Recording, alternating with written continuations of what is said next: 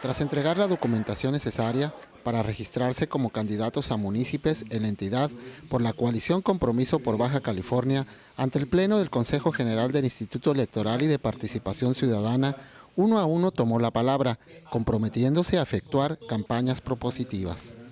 Estoy muy contento porque en Tijuana hay miles de Jorge Astiazaranes, ciudadanos que se preocupan por su ciudad y quieren lo mejor para su comunidad.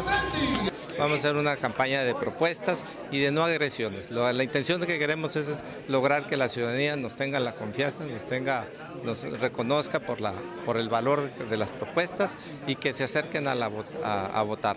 Para Rosarito vamos a hacer una contienda limpia y con mucho este, respeto para todos, para que salgan a votar todos los rosaritenses por los proyectos que traemos. Así, la alianza integrada por los partidos Revolucionario Institucional, Verde Ecologista de México, Encuentro Social y del Trabajo llevarán como contendientes a municipios en las boletas electorales del 7 de julio al doctor Jorge Astiazarán Orsi por Tijuana, Gilberto Irata Chico para Ensenada, Enrique Esquivel en Rosarito, Elito Pete Robles por Mexicali y César Moreno para Tecate. Tras el registro, la celebración reunió a centenares de militantes provenientes de todo el estado, refrendando el apoyo a sus candidatos.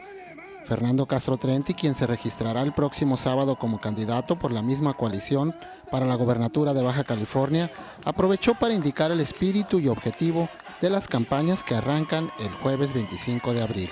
Habremos de empezar un recorrido por toda la entidad. No se les olvide cada mañana tienen que pensar en sus hijos, en sus padres, en sus hermanos, en su amor, en su gran amor tienen que pensar.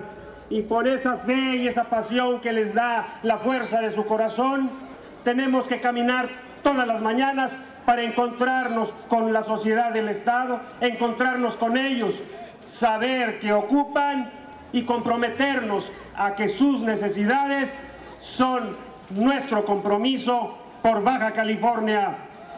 Desde Mexicali, Luis Guillermo Parra, Uniradio Informa.